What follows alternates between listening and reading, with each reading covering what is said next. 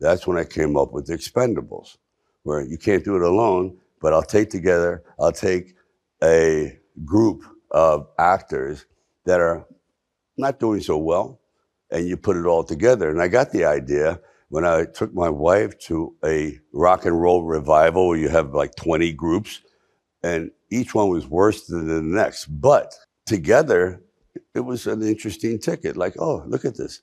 And I thought, why don't I do the same? I take all these guys who perhaps on their own were struggling, including myself, put them together, and that, like, I want to see how this turns out. This is kind of interesting.